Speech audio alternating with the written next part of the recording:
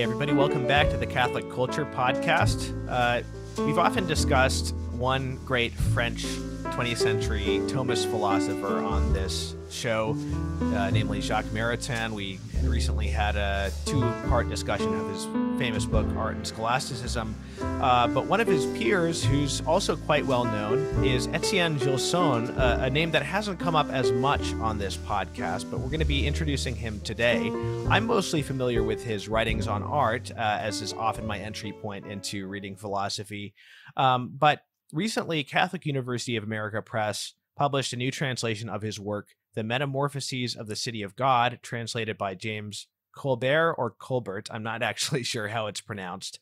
Um, but uh, this is uh, Gilson working uh, both as a philosopher and as a historian of philosophy, which he was. And it, it in it he traces the search of Western philosophers for uh, a universal human society. Uh, and so I'm happy to have with me today to discuss this book uh, Dr. Peter Redpath, who is uh, well, most relevantly for our purposes, he's the co founder of the uh, American Gilson Society and of the International Etienne Gilson Society. He's also rector of the Adler Aquinas Institute, CEO of the Aquinas School of Leadership, and uh, chair of the Thomistic Studies Graduate Concentration in Christian Wisdom at Holy Apostles College and Seminary, um, and the author of many books and articles. Peter, welcome to the show. Oh, well, I'm uh, very pleased to be here. Thank you for inviting me. So, as I said, Gilson really hasn't been given a proper introduction on this series yet. So, I was wondering if, if before we get into this specific book we'll be discussing, if you wouldn't mind just giving uh, an overview of his significance as both a philosopher and a historian of philosophy in the 20th century. Uh, well, Gilson is generally considered to be the leading uh, Thomistic uh, philosopher of the 20th century. Um, he was, uh, uh, as, as well as the, the leading historian of medieval philosophy, um, at, at least as good as uh, Father Copleston. And uh, he, uh, Gilson was the founder of the Pontifical Institute of Medieval Studies at the University of Toronto in 1929, which really started a revival of interest in medieval studies in general. Um, and one of the reasons he did that was because he, he was interested in the study of uh, of Saint Thomas, but he recognized that um, adequate study of him really required uh, people to be trained in um, in different uh, skills uh, like paleography and, uh, and, Latin and Greek and so forth, and the, mm. the history of the Middle Ages uh, up, up, to and including the the beginning of the universities. And so uh, uh, he's, uh, he, I think he wrote, he, he wrote, uh, uh, I think the number is somewhere around 177 books attributed to him or edited by him, and as well as uh, hundreds, I think thousands of of book reviews and articles in academic journals and newspapers, hmm. different sorts today we're discussing um, the metamorphoses of the city of God. And I mm-hmm. guess in this, it's not that he's not writing as a philosopher as at all, but he he does largely have his historian hat on. Right. Uh, I would say.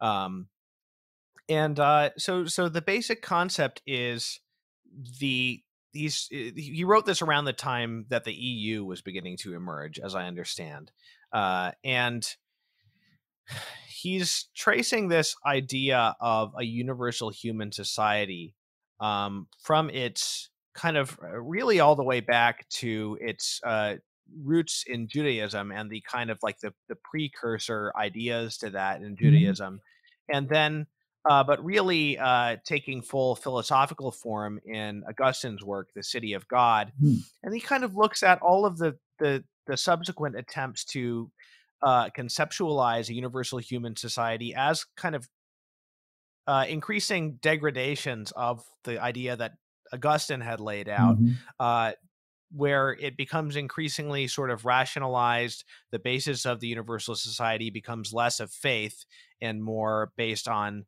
uh, natural law, maybe with some Christian trappings, but eventually a full fully uh, realized secular mm-hmm. uh, or even in, in, in its final version that he studies uh, uh, positivist mm-hmm. um, uh, conception of a universal human society.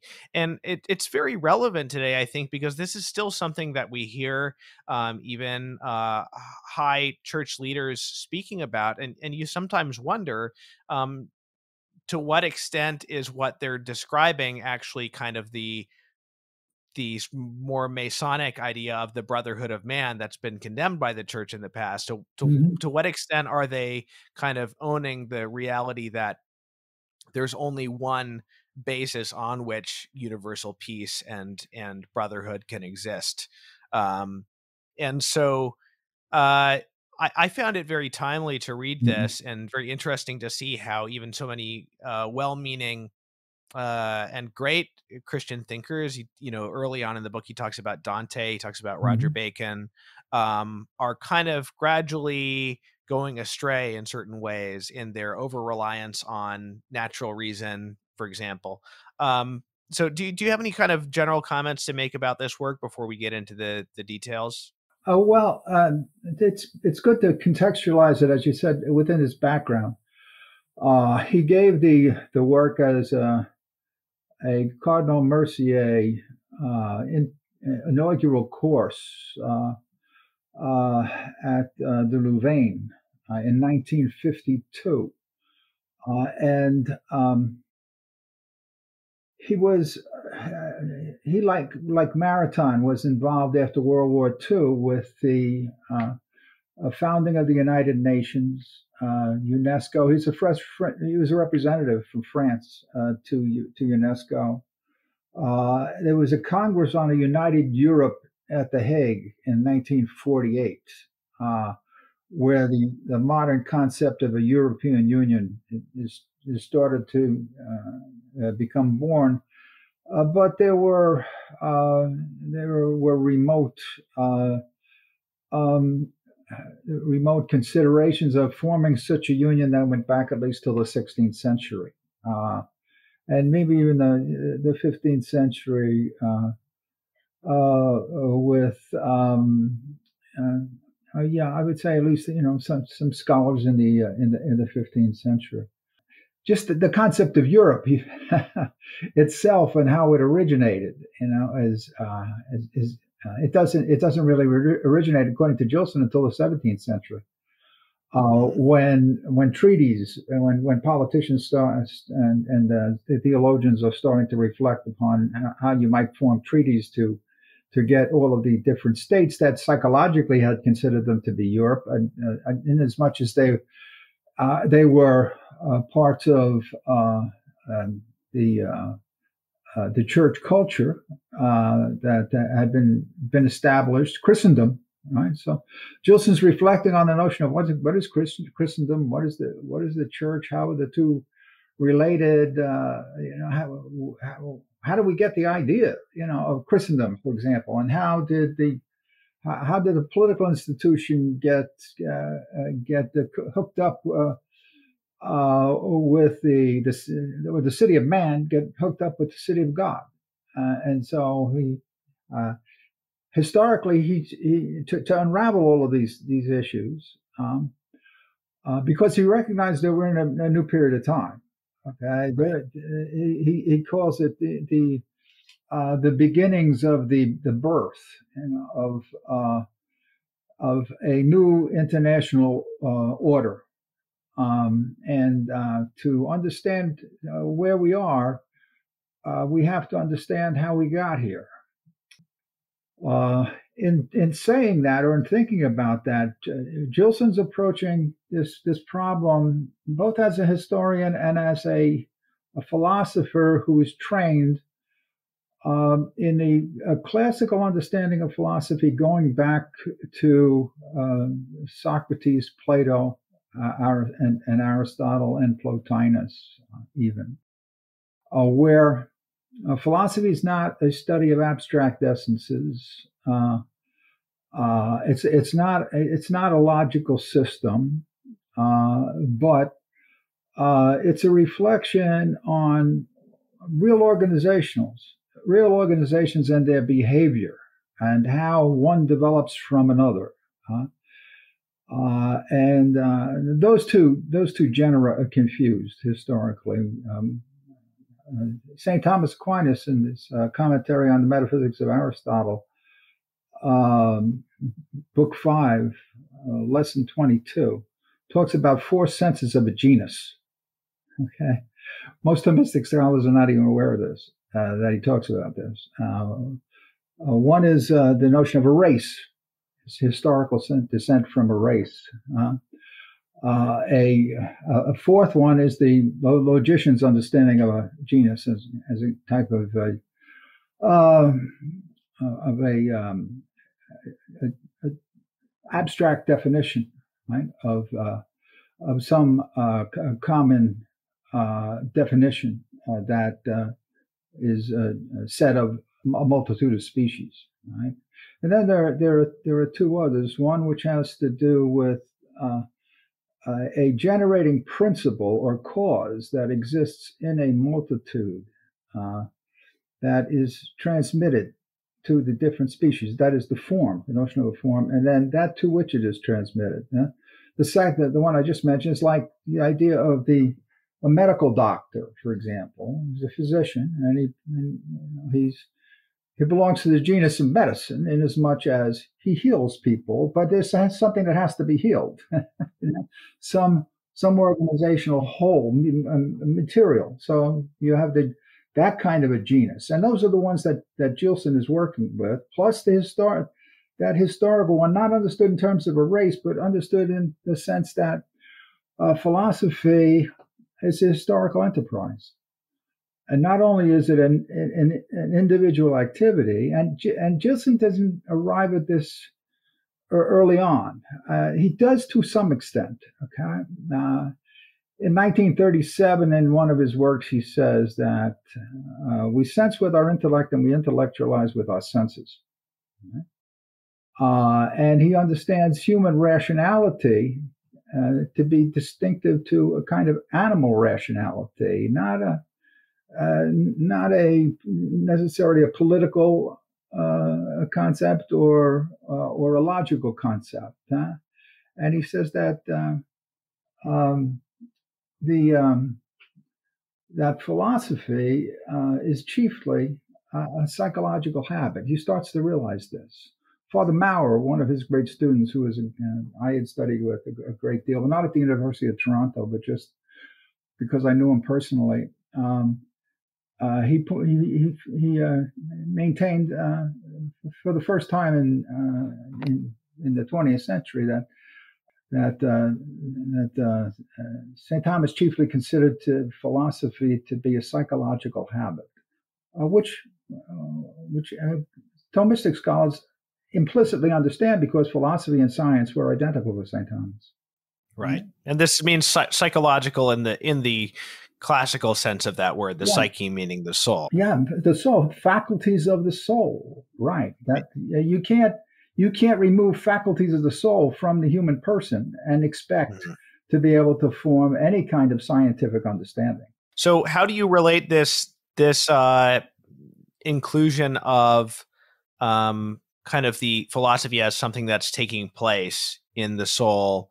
Um, and and all of all of what you've just said. How do you relate that to this particular book that we're discussing?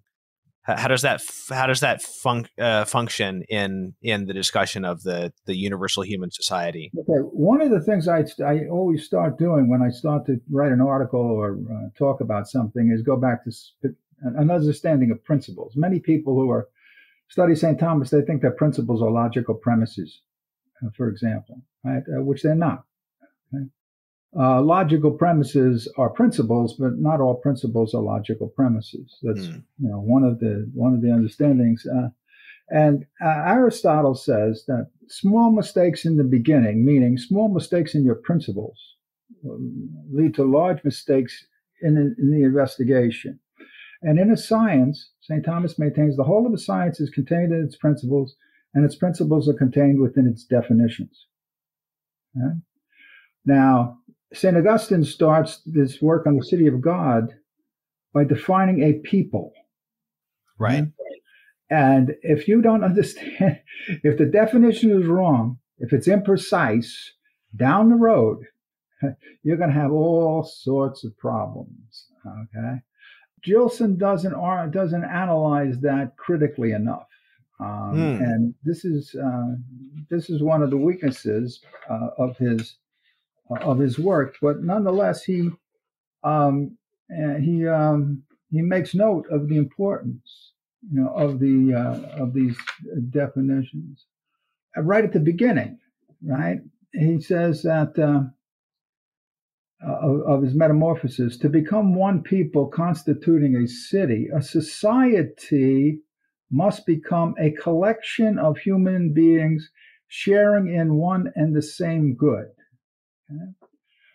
Uh, and he calls it also a multitude. I think this is the way he actually actually defines it. Um, he defines it that way later on in his text.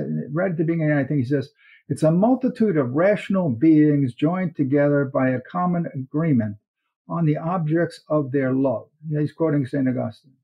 Gilson, you know, in the in this first the second chapter establishes Augustine's conception of the city of God he then traces these de-evolutions of it to uh to kind of like a, a secular uh universal human society. Augustine is looking at the question of whether there can be a city or uh, a society or a people without true justice.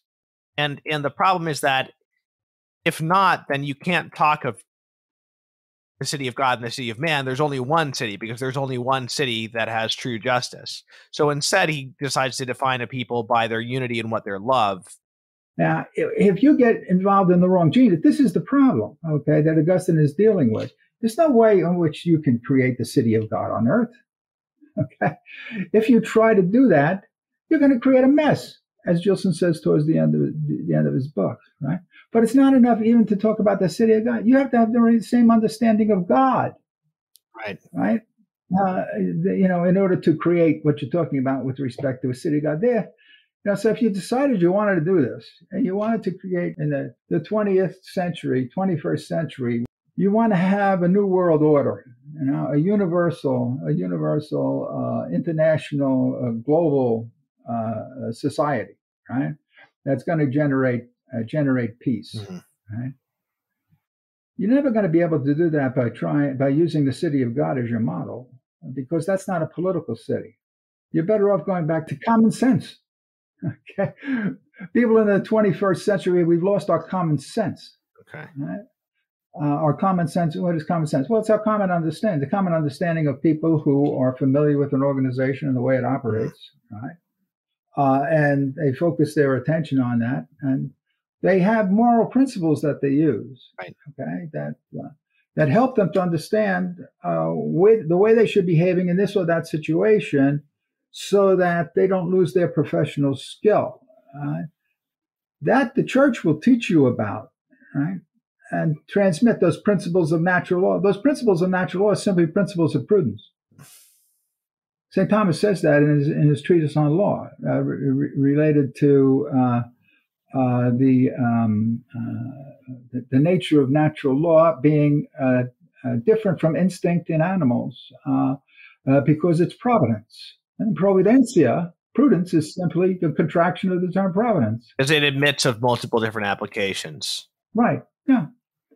Yeah. You know, so so what's so so the you know the prudence that uh, you know a politician has to have is unique to the talents and skills you know, of a uh, of a politician. Uh, uh, and uh, you, you, analogously uh, through uh, through reading, through through conversing with people who've got skills in metaphysics and and in ethics, the politician can become much better at being a politician.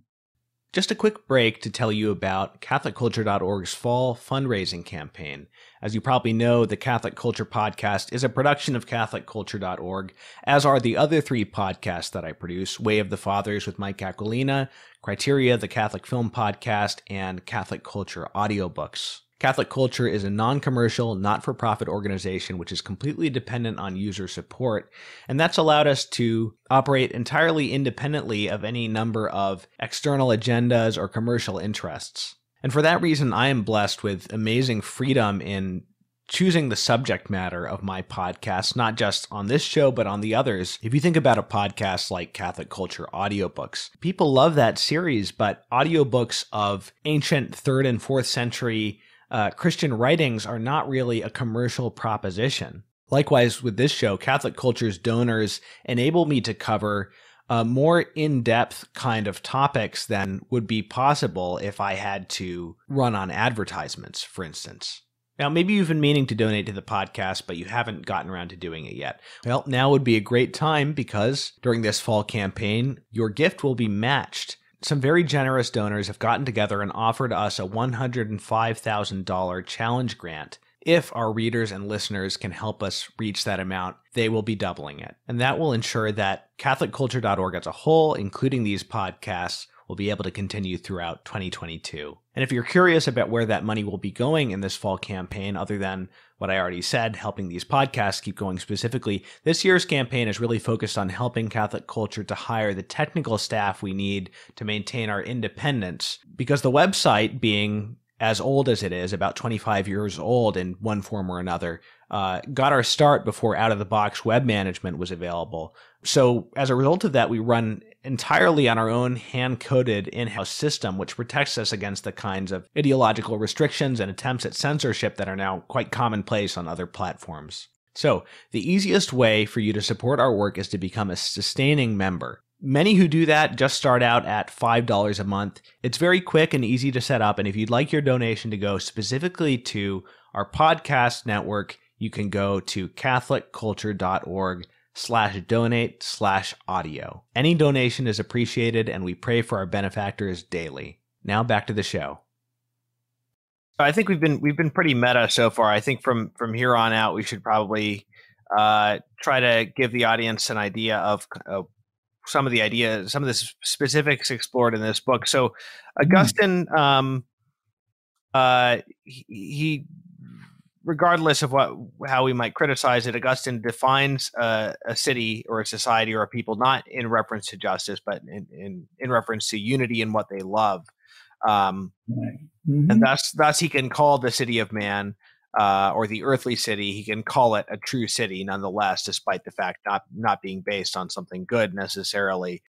So he talks about kind of the the roots of the hum- the unity of the human race. Um, you know, he says the, the human race could have been descended from multiple men, but in, in order to assure the hu- unity of the human race, we're descended from one man. We could have a philosopher could have could have determined, oh, we all have the same shared nature. But Revelation gives us more than this by telling us something that philosophy couldn't have told us, which is that we are all descended from the same individual. So we we mm-hmm. not only have uh, uh, a shared nature, but we have familial feeling, which uh, Gilson points out uh, really interestingly is is a reality of nature. It's it's a natural truth, but it's it's a natural reality about nature that's only known by faith. Uh, our our descent from a single mm-hmm. pair of human beings. Right. So Augustine envisions two different universal societies. The city of man. A lot of people confuse it uh, by thinking that there's the city of God, which is the spiritual city, and then the city of man, which is the temporal city. Uh, Augustine doesn't think of it this way. He sees, thinks of them as two absolutely uh, exclusive and opposed societies. And so uh, later on, they're they're essentially the elect uh, and the re- whether they're currently members of the church or not, uh, and the reprobate. But later writers mm-hmm. turn this into the complementary spiritual and and temporal powers one other interesting point that Gilson makes in his discussion of uh, Augustine, which is this fact that there was never a previous aspiration to a universal human society, a, a voluntary universal society uh, uh, united by love, uh, previously to to Christianity. Uh, the pagan state eh, never enforced a single philosophy, um, but the church, of course, has to to remain itself. So the the, earth, the the city of God, of course, has to maintain a single philosophy, but the pagan state didn't didn't it allowed all sorts of sort of philosophical uh, you know variety and and one could say chaos. But uh, there's a great passage from Gilson I want to read here. He says, "From the moment at which the earthly city aspires to the universality that is initially attributed to the city of God, it must in its turn promulgate a single dogma." Assigned to all humans a single and even very earthly good, the love of which will make them into a single people, a single city. Between the pagan state of antiquity and the pagan state of our days, there is the Catholic Church, whose spiritual authority the contemporary state demands and usurps. Even insofar as it is atheist, the modern state is completely totalitarian in principle.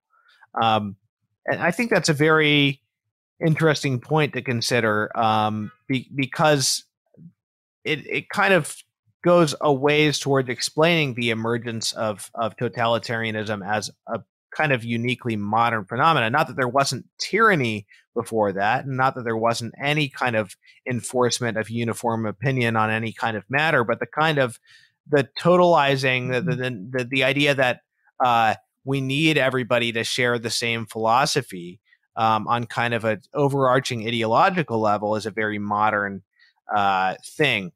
Mm-hmm uh, in terms of in terms of a secular in terms of a secular thing rather than a religious uh, mm-hmm. dogma. Mm-hmm. Um, and I think that we end up coming back to this uh, this concept towards the end of the book when he he talks again about kind of the repeated failures of all of these projects of universal human societies which are detached from religious faith. Yeah, yeah, the yeah the uh, the ancient Greeks uh, you know, they their notion of the political realm is the city state. You know, it's uh, uh, it's much more. You have competing city states, you know, and it's not until it's not until really Alexander the Great, you know, starts to starts to come up with the notion of internationalizing uh, the uh, the Greek, uh, um, uh, the Aristotelian uh, principles uh, to that you get a kind of international an international flavor. You know, they kind kind of the notion of the net the nation starts starts to develop and there the, the psychology starts to change but the church starts out as international and he but in a sense this was also true of the ancient the ancients uh, when uh, uh, Gilson uh, at the beginning of his Metamorphosis uh, uh talks about uh, the church is Rome, Rome is the church, you know, and, and making reference to uh, Hilaire Belloc. Europe, Europe is the yeah, faith, and the faith Europe is Europe. Faith, yeah. yeah, yeah. Europe, yeah. Europe is the faith. The faith is Europe. and um, the and, and Gilson, you know, they, disagrees, but in a sense, at the time, uh, is uh, going back to the ancient Greeks, the world was the Mediterranean. Yeah? Uh, mm-hmm. the uh, Anaximander creates a map, you know, where he's got uh, uh, he's got a couple of Libya, I think he's got, and four four divisions that constitute the world, right? And one of them one of them is Europe, but you don't have a concept of Europe psychologically you know, as uh, all of these different uh, nations because they, they really haven't come into existence. Uh, but uh, Europe, in, in its inception, uh, the, uh, from a, from the beginnings of a, a philosophical understanding, arise from the notion of of something that is is religious, as you you point out. Joseph Pieper Pieper's famous work, you know, uh, that is mistranslated, uh, uh, "Leisure: The Basis of Culture." In German, is Musse und Kult, uh, uh, leisure and religion. Right? And Pieper, Pieper in that article is talking about, or that work is talking about how religion is the basis of culture, strictly speaking, in the sense that metaphysical principles, the, the ancient Greek philosophical culture is, inherited from the oracle at Delphi. When Socrates is justifying his his his, activity, right, and, in the apology, he he refers to him being a in, in being given this mission right? By the Oracle at Delphi, right? So, in in a sense, the ancient the ancient Greek, even you know, uh, even the ancient Roman, have a kind of implicit understanding that they're engaged in a uh, in a global project, and all of them have this understanding that it is providentially guided.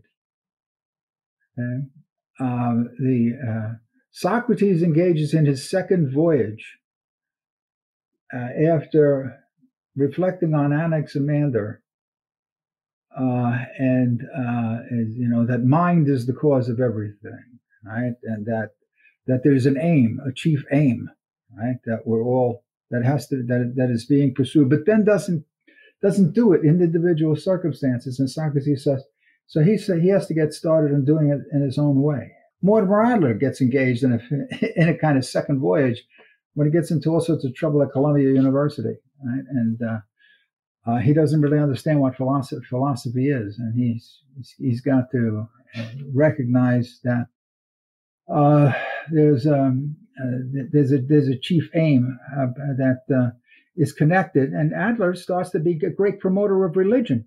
He's a pagan mm-hmm. at the time, but he recognized the crucial importance of, of religion to give metaphysical principles uh, and moral principles that relate to the fact that human beings are in pursuit of a common good, a common an, an object of interest, as Cicero says, a common good right, in the future. Right?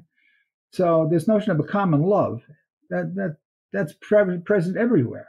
Okay, now, what we love most, right, uh, becomes the chief aim for the pursuit of happiness. Mm-hmm.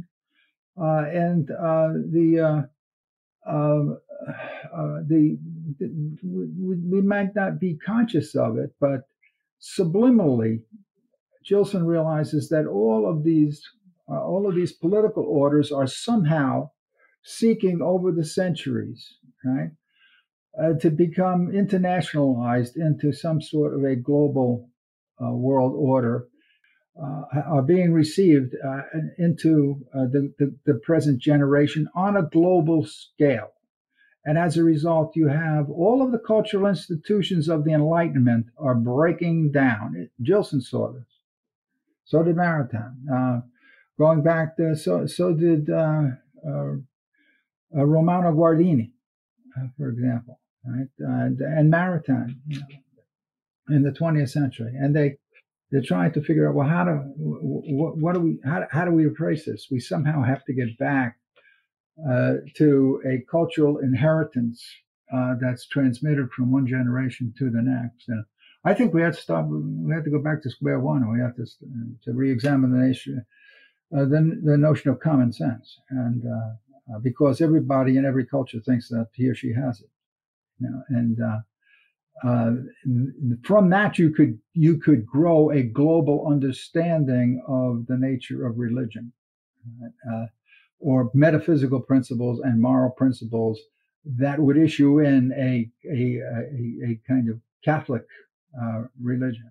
Um, the uh, all human beings have this understanding that at least to the extent that they're, they're following an, an, an ordered pursuit right?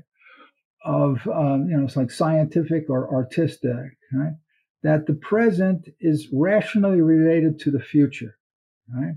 That you and I are both are both pursuing an aim or an end related to something that does not exist. Okay. okay. Now, how something that does not exist can be organizing my activity as an as as an opposite right because i belong i belong to this genus now right where i'm pursuing that and it's defining me mm-hmm. uh, unless there is some being that is a providential being that connects me to that future yeah? the pagan greek understands this in one way socrates understood it in one way slightly different from aristotle but all of them, Aristotle, Socrates, St. Thomas Aquinas, all consider that to be a principle of right reason, uh, which is the principle of providence. Uh, and uh, uh, if you try to substitute anything for divine right reason, divine providence, right, uh, and and and make that uh, a political kind of a principle, right? Uh, you know, so that you're superimposing your your idea of the state, the secular state that you're considering to be a religious state, you know, uh, uh, like uh, the uh, uh, Auguste Comte or Saint Simon um, might have thought it to be. you're you're going to have problems. Gilson remarks about that there hasn't been a theology of Christendom. There was always a hmm. theology of the church, but Right. Starting in the Middle Ages, you get people trying to to think about uh, sort of Christendom from a philosophical hmm. perspective. Mm. This desire for uh, global peace, um, and also cer- certainly the glory of God, the glory of the church, the the triumph of the church over the nations. Um, you know, th- they recognize early on in the figure of Roger Bacon. Um, he recognizes that one world means one faith, and then we have this problem that it's not possible to make everyone become Catholic. So mm-hmm. Bacon sort of ends up transforming uh, the city of God into uh, a Christian republic that exists in this world, and uh, it uses natural reason and philosophy to convert those who can be converted, and it uses technology to to kill those who, who won't convert. Very interesting guy, um, Roger Bacon. yeah, and and so we already get, get this movement towards natural reason and philosophy being the mm-hmm. main means by which we convince people of the mm-hmm. truth of Christianity, um, which I think there's a great tendency um, to, to, nowadays to talk about the natural law. And it's very understandable because it seems much more difficult and unrealistic to get people to accept you know the supernatural realities of the faith to get people to accept jesus christ and frankly uh, if it's unfashionable to talk about the to, to mm-hmm. start talking to somebody about the natural law it's even more unfashionable to start mm-hmm. talking to uh, to, to, someone about Jesus Christ and you know sin and salvation and, and things like that. I, I'm of the mindset that I think I think I think we we're learning, and I think Fulton Sheen uh, said something like this too about how the arguments have all been made uh, and they've sort of failed us in the at this point, um, and that we we basically have to preach Jesus Christ in a much more um, uh, straightforward manner. Um, but but of course, natural reason and philosophy they have their their place. Um, but Roger Bacon and Dante after him both ha- both seem to have a, a too great confidence in uh, the ability of natural reason to sort of uh, almost make the world Catholic without making it Catholic. Yeah, that they, they, they think that they can persuade people by means of argument. Uh, that's like uh, you know most philosophical mistakes start from badly framed uh, questions, you know, from reasoning. Okay, uh, no, uh, no, the mistakes start from bad induction, as uh, Francis Bacon recognized. Bacon just didn't understand what induction is. neither do contemporary logicians, for the most part. It's, it's seeing the part in the whole. Maritain, Maritain understood this, this notion of induction very well. Right? Um, all reasoning starts from understanding. Right? Hmm. And from self-understanding, which is your basically your understanding a situation. Who am I? Where am I precisely? In what type of organization? And where do I want to go from from here? Now, the church, in a way, and Gilson doesn't point doesn't stress this enough. I think in his Metamorphosis, uh, because you know he starts with Augustine, talks about the you know the fall of Rome. Okay, now, uh, in a sense, Christendom begins with the fall of Rome, uh, because all of the institutions that had been uh, that had been uh, in the hands of the uh, of the emperor and so forth, they they start to be taken over by the church. and the preservation of the of European culture, civilization, goes to Ireland and England. The, the, the, copyists and so forth, you know, the, uh, what, what ancient culture was preserved by the Catholic Church.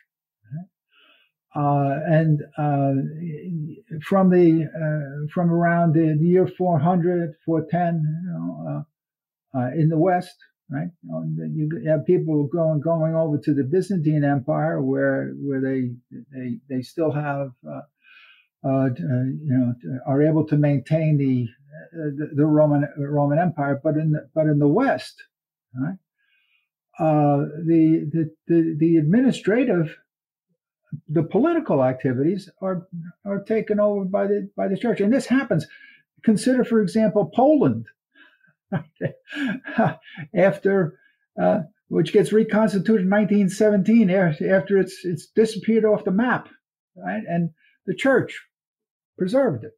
Right? Mm, yeah. Uh, the the you know the, the, Poland as a psychological, you know, a, a psychological uh, habit, right? Was, right. Uh, uh, was very much due to the uh, to the church. Stanley Jaki talks about the fact that he says uh, science is born of Christianity. Science was born of Christianity. Now, that's kind of hubristic to say to say in two respects. One, uh, it misunderstands the nature of science. It's reductionistic. It thinks it's mathematical physics, which it's not. Right? Uh, and uh, but it's true with respect to my, the modern mathematical physics grew out of the Catholic International University, Research University, University of Paris right. and Bologna, and so forth. So Jack, Jaki's right on the money, and that's after the plague. So the so it's normal in a sense for uni- for for uh, Europeans um, and, uh, from the, the, the fourth century, say, uh, sorry, fifth century up to uh, up till the plague and beyond, right? 15th up to the 16th century, to identify the church as a uh, as a spiritual psychological entity to seeking to pursue you know metaphysically and morally to teach the principles to get you to heaven. And and yet the bureaucrats the european bureaucrats to uh, be unable to think about themselves as apart from the religious traditions you know, that are being passed on from one generation to, to the next generation, uh, which are part of that scholastic enterprise, the humanistic enterprise. So Roger Bacon had come up with this idea of a Christian republic uh, in submission to Rome, uh, but converted by means of natural reason and philosophy. Uh, but not, but the, the the, the Christian content of Christianity itself had not been reduced to natural and re- reason and philosophy uh, by Bacon. Dante um, has uh, this idea of a, of a universal monarchy in his work De Monarchia. Uh, this universal Roman led monarchy, which uh, says is the first modern expression of a single temporal society of all humankind. And it's, it's an exact temporal copy of the church. So this is this is uh, the first time it's been like really temporalized this this sort of city of God uh, concept. And uh, one of the the faults that uh, Gilson charges uh, Dante with is his assumption that natural reason by itself is sufficient to enable all of mankind to adopt the same philosophy. Mm-hmm. So he's hoping that this this the world will be unified through the adoption of Aristotelian philosophy, um, even if not all of them become uh, Christian. Um, and of course, the, the, the emperor himself will be will be subject to and, and receive his authority from mm-hmm. the pope, uh, but not everybody in the empire will necessarily. But they'll all be in harmony because they're adopting Aristotelian philosophy, um, and this kind of goes mm-hmm. back a little bit to what you said about the genus, uh, including both uh, you know the the knower and the thing known in other words if you uh, in the abstract yes it is possible that everybody could uh, adopt aristotelian philosophy uh, but the fact is that you have to look at it in terms of fallen human nature and the, the likelihood of that ever happening um, mm-hmm. and so this is what Dante fails to do. He's very, you see a great naivete in, in almost all of the figures covered by Gilson in, in this book. And uh, so, so I, I, love this passage from Gilson. He says, "With the ingratitude toward faith that humans so often demonstrate, Dante's philosophy is based on what it owes to Christian revelation in order to justify its intention to do without Christian revelation in the future. We have the result before our eyes today." In the middle is the worst philosophical chaos that the world has ever known. To the right, there is the union of reasons under the unity of the church's faith. On the left, there is the submission of reasons to the force of a new empire whose official doctrine hardly resembles Aristotle's. And so he kind of, he kind of, uh, Gilson kind of points out that it's naive to think that uh, not only that everybody would adopt the same philosophy, mm-hmm. but even the triumph of Aristotelianism in the middle uh, medieval schools was somewhat illusory insofar as they weren't all reading the same Aristotle. That they they they were there were many different interpretations of what the true Aristotelian doctrine were, and so uh, had uh, you know Dante looked at it on a little bit more with a little bit more specificity, he might have realized that um, it, it's hard to it's hard to imagine the whole world being united uh, by means of natural reason uh, under this philosophy. And and as he as he says in the quote, um, it's not like it wasn't through the influence of the church and through supernatural faith that people were that so many uh, in Europe were able to agree on some level of Aristotelian philosophy in the first place. It's not like they came to it purely mm-hmm. by by natural reasoning. Right. Yeah. No, they came through through, through guilds basically. you know, the uh, right, yeah. The, um, it was a social, and aside from the influence of the faith, in harmony with you know aspects of Aristotelian doctrine, uh, like you said, it's a, it is actually a social organization. This is this is a tradition that's passed down and enforced to some it's extent. It's a transgenerational uh, social organization, or um, Adler calls it an enterprise. Huh? Uh, a social to social science psychological enterprise that's that's being educationally transmitted through institutions uh, that include you know the stained glass windows in the churches and the you know where you don't have Bibles to read and stories and uh, um, and, and common understanding. One of the things I I I've, I've taught on the college university level for only 50 uh, uh, over, over 53 years um, and uh, one of the things that I found is students are never convinced by arguments.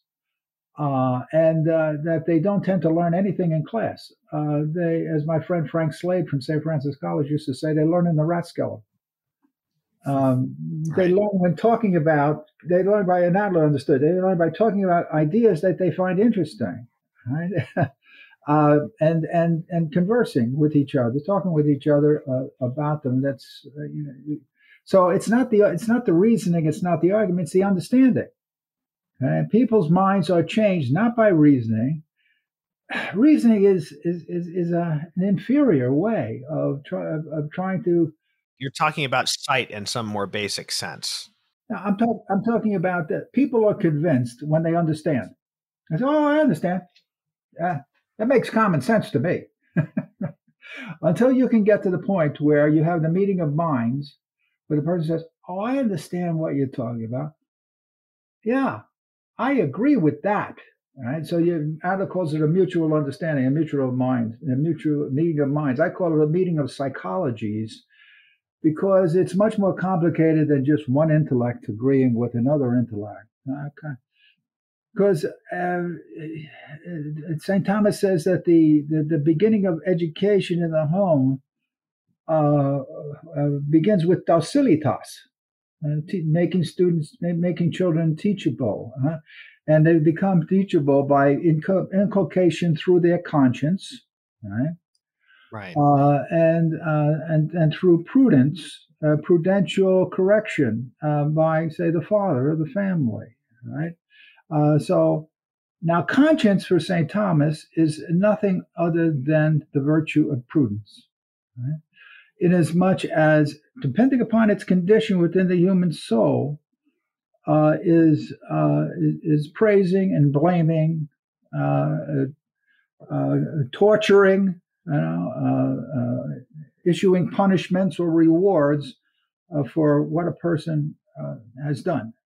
Right? So, to the extent that people lose a sense of prudence, and to the extent that that's not transmitted from one generation to the next, uh, that's, and prudence is a species of common sense. The, Aquinas talks about it in that way. Yeah? Uh, and he locates it. He lo- locates it in particular reason, cogitative reason.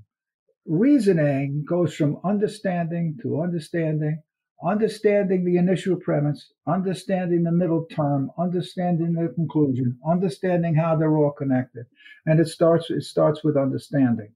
It sounds like that when you talk about the difference between reasoning and understanding, is that understanding has to do with having been enabled to see something which may happen through any number of different ways that are not necessarily by reasoning.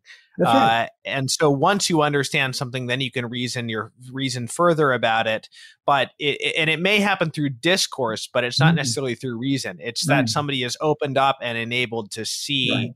Uh, which might happen, as you said, you talked about the inculcation of docility. It might might have to do with uh, um, some form of inspiration or something speaking mm-hmm. to the heart, or simply uh, growing in virtue in some way Mm. rather than being reasoned into something. Yeah, the, the uh, there were great debates. Uh, Maurice De Wulf, for example, in, in, the 19th century about the nature of scholasticism as a universal philosophy of the Middle Ages, which it weren't, wasn't. Is it's a humanistic tradition of education. Uh, it's uh, uh, it's the uh, it, it becomes institutionalized in the medieval university, but but it it involves a, a cooperative uh, co- cooperative activity on the part of a multitude of scholars, like translators, you know, who are getting the works of Aristotle, you know, in Spain and in Sicily, and uh, and they're helping people like uh, like Saint Thomas to you know, to to to get his hands on the works, to this to teach uh, this in in class, and and uh, when they, all of these these people have a common understanding of a person with common sense has has a common understanding of the principles that or the causes, okay, that are being used to to unify and cause to come into existence some sort of organizational whole that behaves the way it does. Okay, painters are great at doing this. You know, sculptors. Uh, uh, Michelangelo sees, oh, the piece of marble that's terrific. I can make a pieta out of that. the immediate understanding. Now, when what these people were transmitting from one generation to the next uh, were centuries of common sense understanding, right? Which you no longer have to repeat because you have a common educational heritage. The Enlightenment destroyed that. Now we started starting in the pre-Enlightenment with Descartes, um, we've got the whole of truth before us. No science exists. Uh, you know, for the first time, we're going to do it. You know, uh, and it's it's in that context that they're trying to figure out. Well, how does the church relate to all this? The church is irrelevant. It, it sounds like uh, we're also talking about what Newman would have called personal influence. Uh, as a major factor in in growing and understanding. If if somebody is going to accept a truth, uh, whether of natural philosophy or uh, of or or to assent to faith, um, there there's a personal component that can't be can't be neglected, and also it seems like uh, you know Dante is talking about sort of like people peacefully accepting uh, the truths of philosophy. But it, it, seems like to me, especially in under the circumstances that you describe, where this tradition has been uh, so profoundly disrupted, that there is a, a, a, form of conversion that has to occur, whether we're talking about religious conversion, strictly speaking, or uh, the conversion by which one is suddenly enabled in one's heart to mm-hmm. understand something, as, mm-hmm. as, we've been talking about, even some truth of natural philosophy, some common sense um, yeah. reality. Yeah, Dante's talking about the unity of the possible intellect.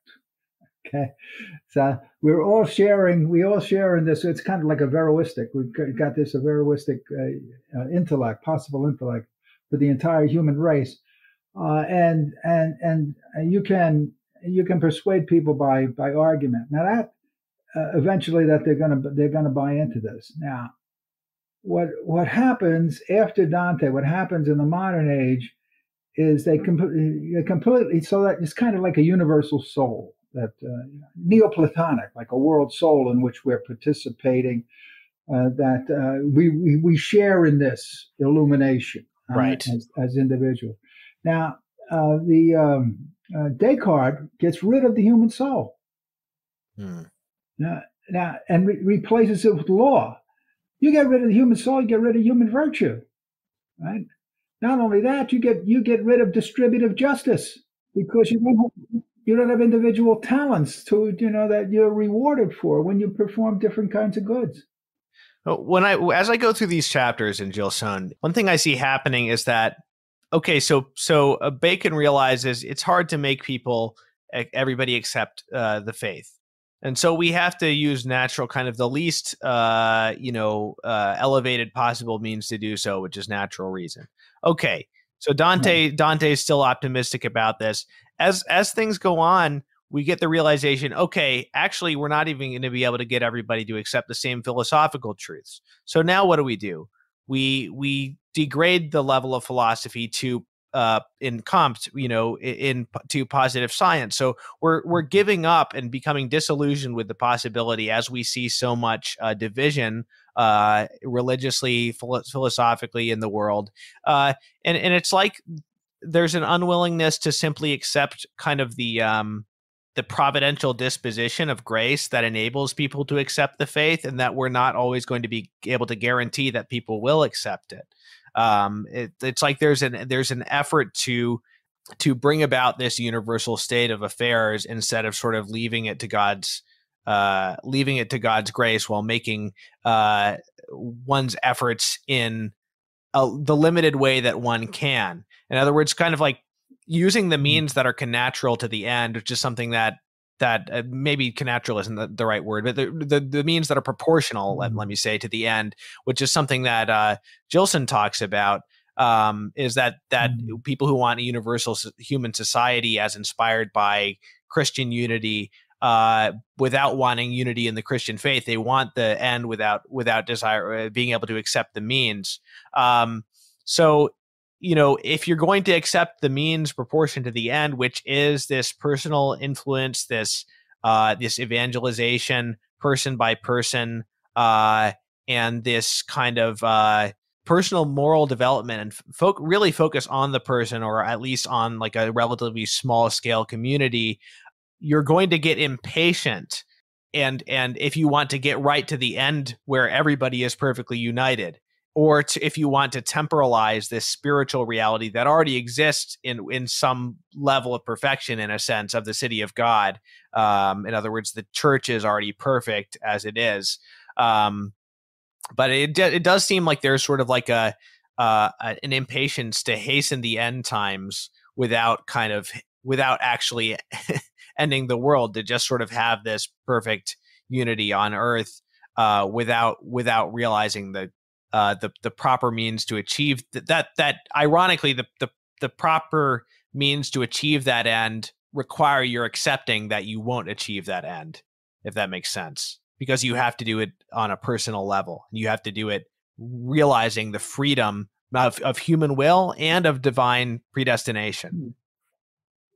Hmm. uh, yeah and it, it, this is never going to be achieved by university professors. Right right uh, right. the uh, or or by uh, yeah, uh, the uh, upper level administration of the Catholic Church, uh, cardinals and bishops, you know, who tend to be property managers. You know, they're, they're worried about whether or not they can keep keep the parish solvent.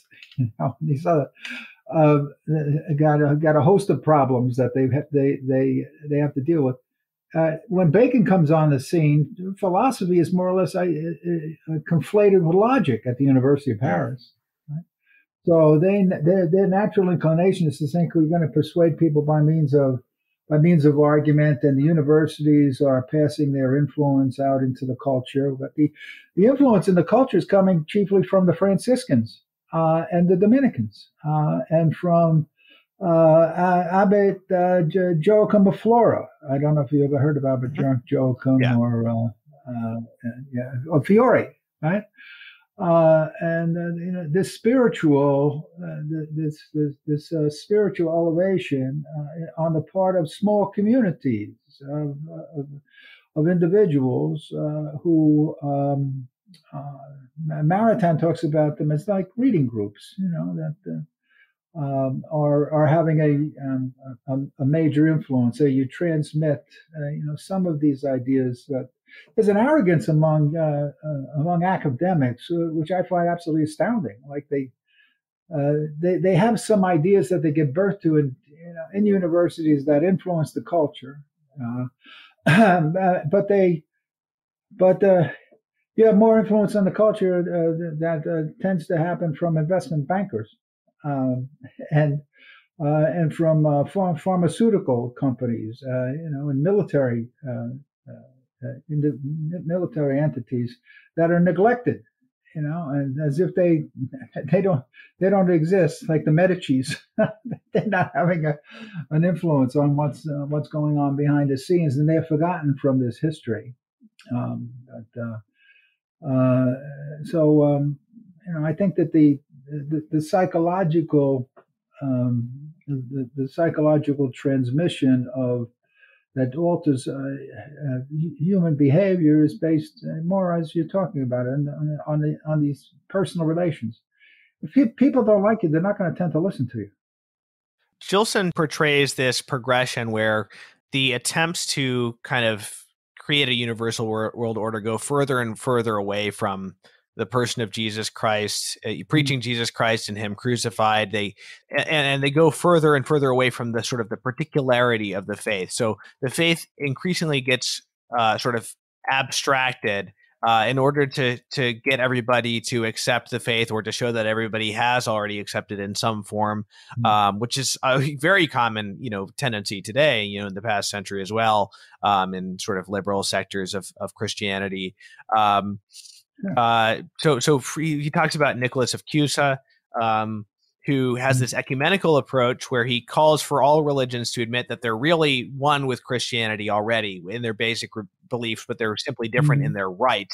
Um, and so, as, as Gilson puts it, he he advocates for the comprehension of the faith uniting, where the difference of faith itself divides. So, in other words, the, the, the faith as sort of an intellectual uh, organization rather than sort of the particularity of the incarnation, you know, uh, the virginity of Mary, the authority of the Roman pontiff, things like that are kind of uh, almost uh, uh, not that he intended this, but almost treated as as though they were accidental to sort of the basic unity of the underlying principles.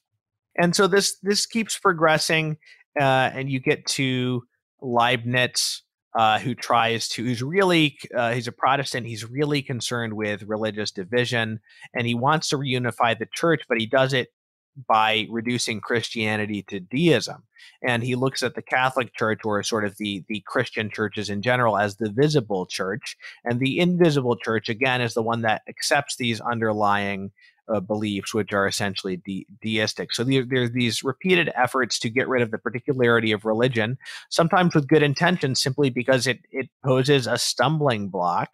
Uh, you know, Christ came not to bring peace but a sword, as he said.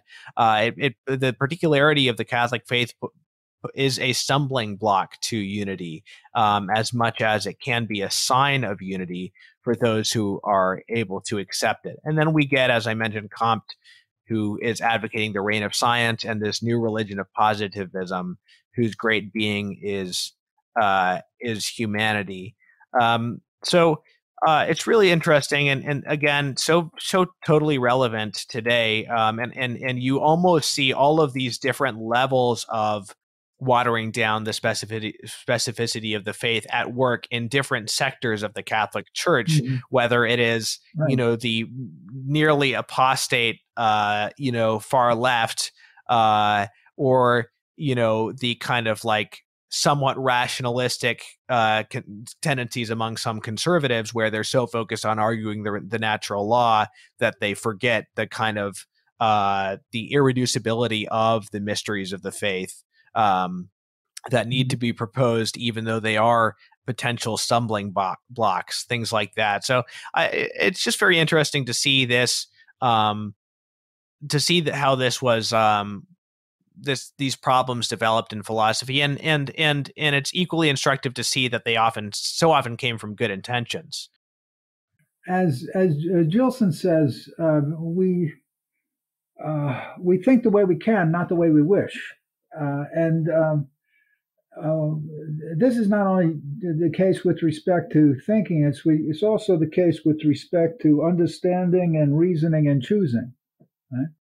And we're always do we do all all of those from uh, the uh, what we understand to be our situation, uh, what we understand the genus uh, from which we are reasoning, uh, chiefly uh, chiefly to be. Now, the the Europeans are are reasoning from their understanding of the church as identical with Christendom, right? right? And right.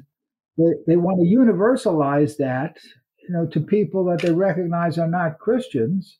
So what they do is they water down their teaching, you know, uh, to claim that you know to to um, uh, this is this is what religion is, uh, and um, uh, that's the uh, that's the wrong approach to take because uh, what you'll eventually do is just pass on to future generations lack of understanding of their own traditions and their own uh, culture, of their own heritage. I think Gilson winds up showing that. It's one of the reasons why I really enjoy this this work on the metamorphosis because it shows you, you know, that what happens when you try to when you try to water down religion and and and your traditions uh, to get rid of the, the, the unity of truth. But on the other hand, Gilson points out at the end of the book uh, that um, you know he's not so what he's not saying that is that we need to you know leave religion out of it and so c- try to construct a universal society a, u- a universal human society on mm-hmm. terms of natural law or proper metaphysics uh, you know those things may serve to unite a particular society that isn't christian as mm-hmm. it did you know the greeks the romans things like that but uh, but uh, what he says is that people need to either that they need to accept the means if they're going to accept the end.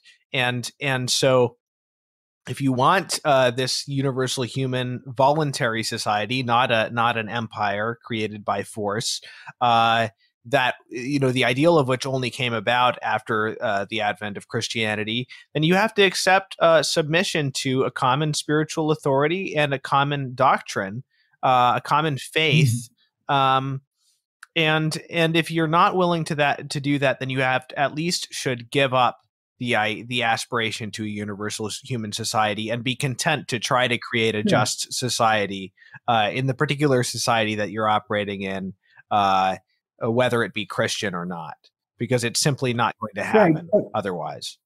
Yeah, like you can't expect to create this through international law.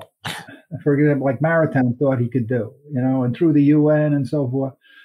Um, that's not going to happen. Uh, uh, Gilson recognized that, that, that, that, there's something wrong uh, with this.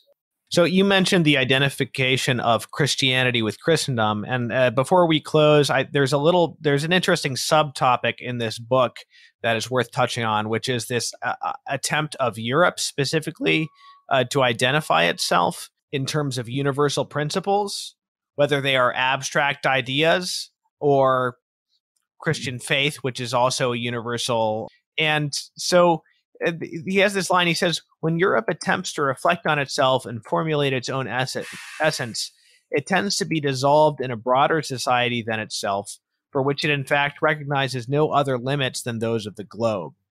So uh, he goes on to say in a later passage, we see a body that claims a soul too big for it, a soul made to dwell in another body, not only greater, but of a different kind.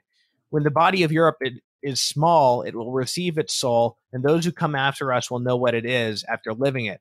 It will be scholarly, but it will not be science. It will give birth and beauty, but it will not be art. It will be just, but it will not be the law. We hope it will be Christian, but it will not be Christendom. And we could apply this, you know, we're uh, we're in America. We could we could apply this to the West. People talk a lot about the West. What is the West? And um, it's hard to define the West in terms that would not ultimately be either global or desirable that they be global.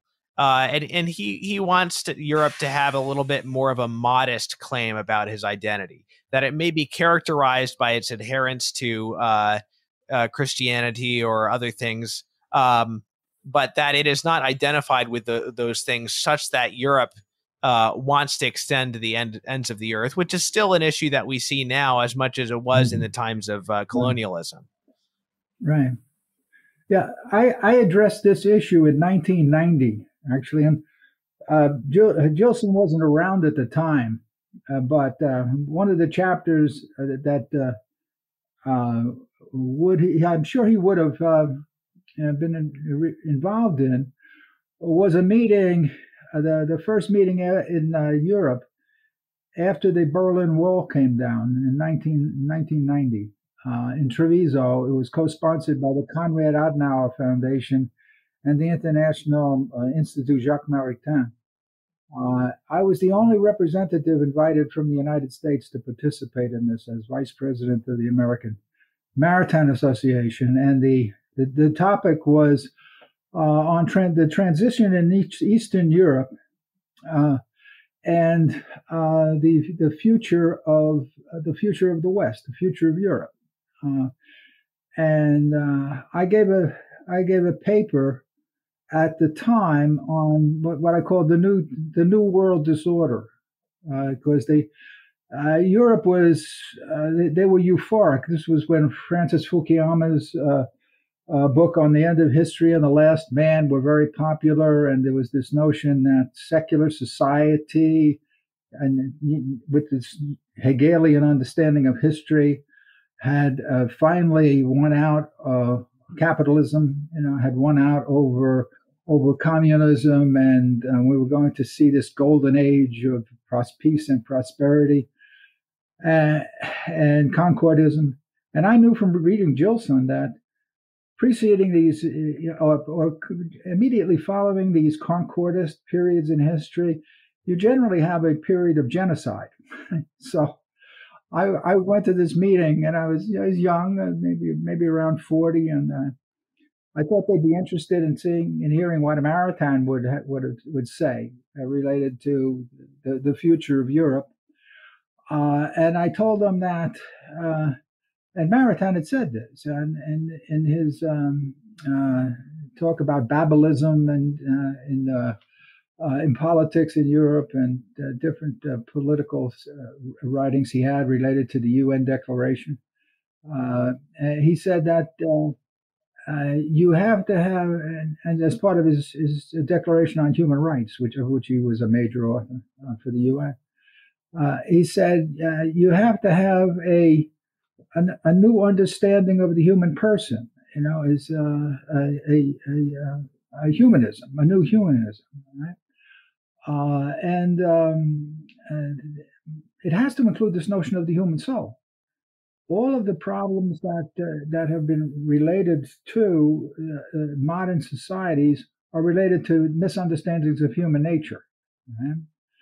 Uh, and unless you, if you don't, the uh, European uh, uh, societies have been attempting to replace virtue with law, right? and have external principles of constraint on, you know, like mechanistic, like positivistic understanding of the of the society, and you're going to influence people by propaganda.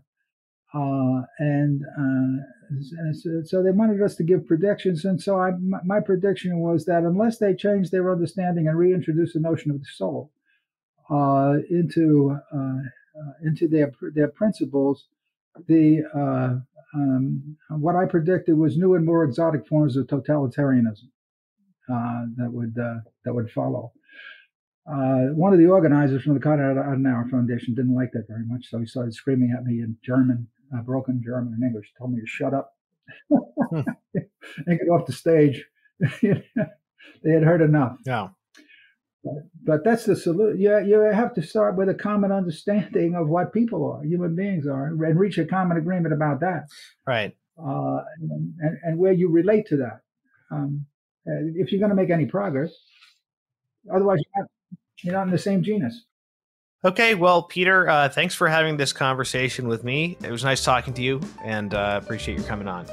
Thank you very much, Thomas. Nice, meet, nice meeting you. I hope I didn't bore you too much.